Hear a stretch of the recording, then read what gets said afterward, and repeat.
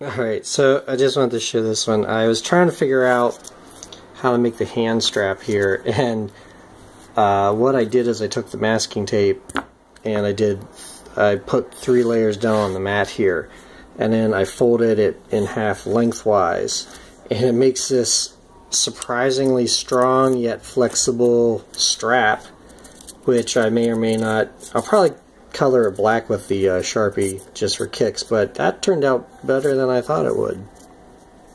Nice.